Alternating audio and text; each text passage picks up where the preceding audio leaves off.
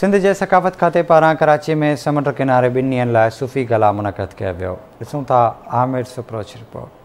सूफ़ी gala programme में सकाफ़त वारे वज़ीर सैद सरदार अली शाह सेक्रेटरी सकाफ़त डॉक्टर अख़्तर नसीम सेतो ऐं D G culture Abdul Aleem Lashari समेत सवे फैमिलियुनि शिरकत कई उन मौक़े ते सैद सरदार अली शाह आवाज़ टी वी सां ॻाल्हाईंदे चयो त सुफ़ियुनि हज़ार साल तंबूरे जी तार ऐं कलामनि सां अमन लाइ जंग विढ़ी सूफ़ी गाला जो मक़सदु सिंध में अमन ऐं प्यार जो पैगाम आहे जिते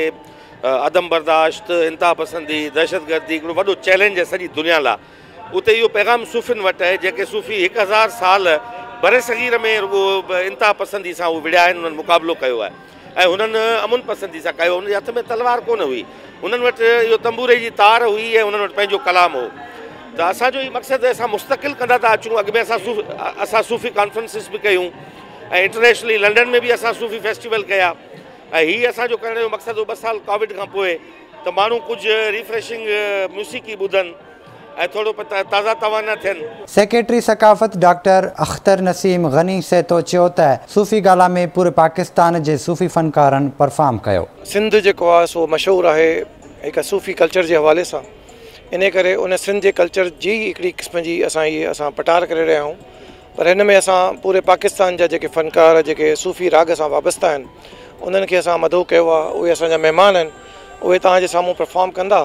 असां चाहियूं था त इहो मोहबत जी लड़ी पूरे पाकिस्तान में सुफ़ी अज़म जे नाले ते जुड़ियल हुजे ऐं जेको माण्हू दहशतगर्दी उन जो शिकार आहिनि उन्हनि खे असां प्यारु ऐं मोहबत जो ऐं पाबो जो पैगाम ॾियूं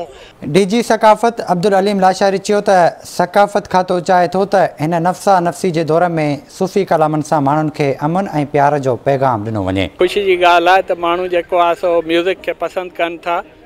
ऐं म्यूज़िक ॿुधणु अचनि था ऐं कल्चर डिपार्टमेंट जो मक़सदु ई इहो आहे त म्यूज़िक खे कल्चर खे प्रोमोट कजे सूफ़ीज़ जूं जीअं त बाउंड्रीज़ न हूंदियूं आहिनि उन करे असां सॼे पाकिस्तान जा जेके बहितरीनु सुफ़ी सिंगर आहिनि उन्हनि सभिनी खे हिते घुरायो आहे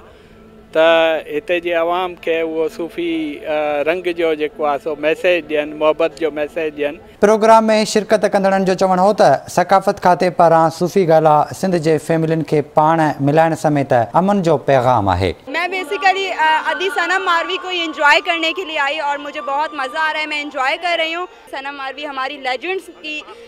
एक लेजेंड है और सूफ़ी कलाम जो जिस तरह वो मतलब परफॉर्म करती हैं इट्स वंडरफुल सुठो स्टेप आहे अहिड़े माहौल में जो अफ़रा तफ़री माण्हू पंहिंजे परेशानियुनि जे माहौल में आहिनि हिन मौसूकी जे प्रोग्राम में हिन ज़हनी रूह जी राहत वठण जे लाइ बहितरु तरीक़ो आहे तमामु फस्ट क्लास जेको हीउ सूफ़ी ॻाल्हि प्रोग्राम थियो आहे इहो सुठो सवण सम्झूं था